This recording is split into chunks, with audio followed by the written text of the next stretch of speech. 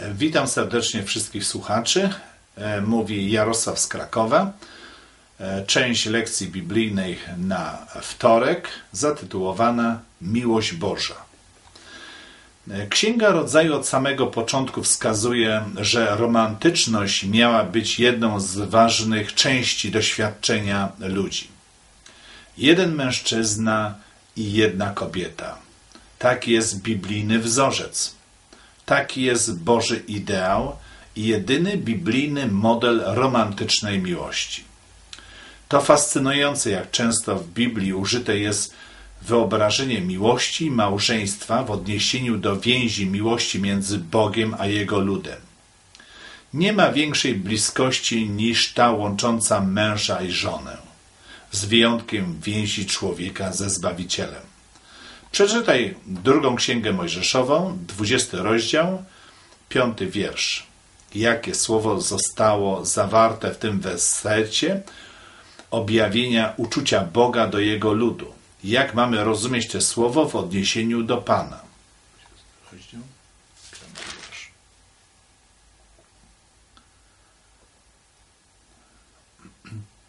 Nie będziesz się im kłaniał i nie będziesz im służył, gdyż ja, Pan Bóg Twój, jest Bogiem zazdrosnym, który każe winy ojców na synach do trzeciego i czwartego pokolenia tych, którzy mnie nienawidzą.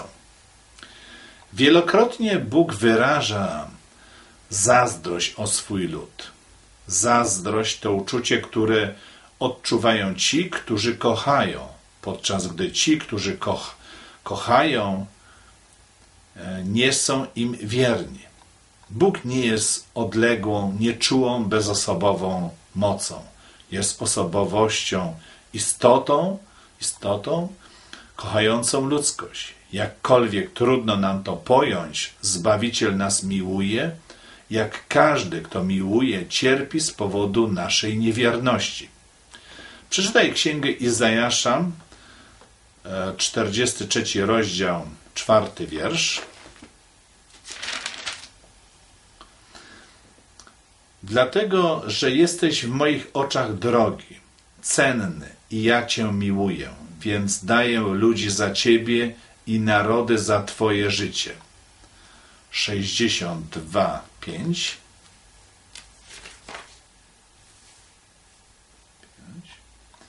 Bo jak młodzieniec poślubia pannę, tak poślubi cię twój odnowiciel, a jak oblubieniec raduje się z oblubienicy, tak twój Bóg będzie się ratował, radował z ciebie. Księga Ezechiela, 16 rozdział,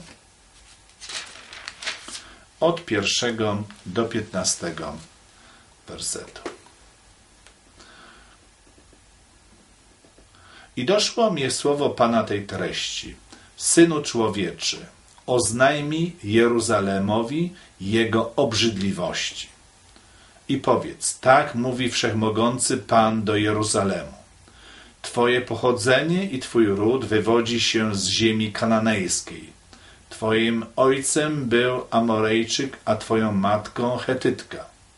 A z Twoim narodzeniem było tak, gdy się narodziłaś, nie przecięto Twojej pępowiny i nie obmyto Cię wodą, aby Cię oczyścić, nie natarto Cię solą i nie owinięto w pieluszki.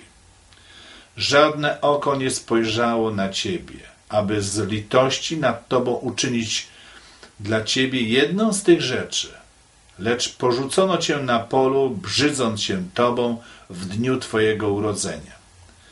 A gdy przechodziłem koło ciebie, widziałem cię tarzającą się w swojej krwi, wtedy odezwałem się do ciebie leżącej we krwi, żyj i rośnij. Jak roślinę polną uczyniłem cię, rozrosłaś się i wydoroślałaś i doszłaś do pełnej urody. Twoje piersi nabrały kształtu, a twoje włosy urosły, lecz sama byłaś naga i goła. A gdy znów przechodziłem koło Ciebie i widziałem Cię, oto nadszedł Twój czas, czas miłości. Wtedy rozpostarłem nad Tobą poły swojej szaty i nakryłem Twoją nagość.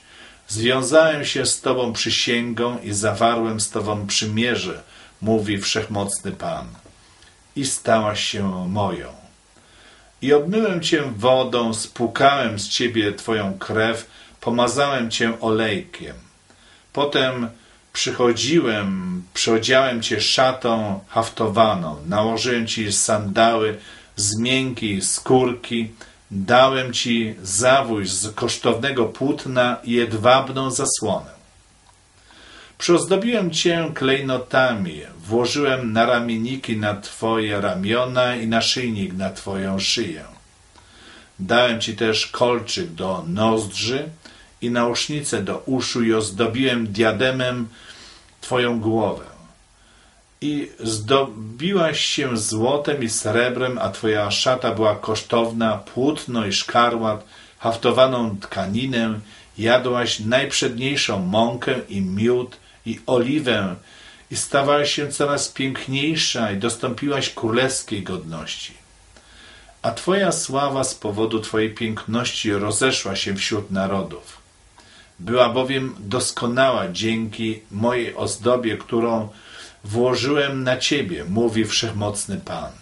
Ale zaufałaś swojej piękności i pewna swojego sławnego imienia uprawiałaś nierząd i hojnie darzyłaś sobą każdego przechodnia i oddawałaś mu się. E, Księga Jeremiasza, 31 rozdział.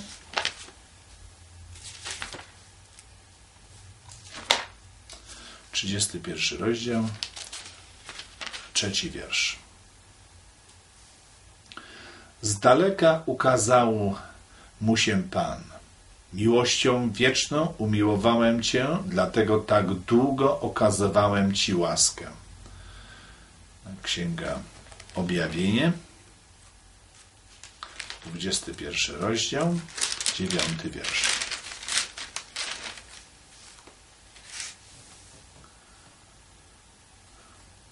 I przyszedł jeden z siedmiu aniołów, którzy mieli siedem czasz napełnionych siedmioma ostatecznymi plagami i tak się do mnie odezwał. Chodź, pokażę ci oblubienicę, małżonkę baranka. O czym jest mowa e, w tych wersetach? Jak pomagają one nam w zrozumieniu tego, co Bóg czuje do nas? Biblia otwarcie mówi, że Pan darzy wielką miłością każdego człowieka. Niełatwo to pojąć, gdyż niełatwo zrozumieć Boga, Stwórcę Wszechświata. Przecież ledwie jesteśmy w stanie pomieścić w głowie istnienie Wszechświata, więc jak moglibyśmy zrozumieć tego, który stworzył Wszechświat? Jednak Zbawiciel nie tylko oznajmia swoją niepojętną miłość do nas, ale także okazał nam ją wiele, na wiele sposobów. Oczywiście największym z nich jest ofiara złożona przez Jezusa na Golgocie. Czy potrzebujemy większego dowodu miłości Boga do nas? Pomyśl, co by było, gdyby Bóg żywił do nas nienawiść, był wobec, na, wobec nas obojętny albo zaledwie nas lubił.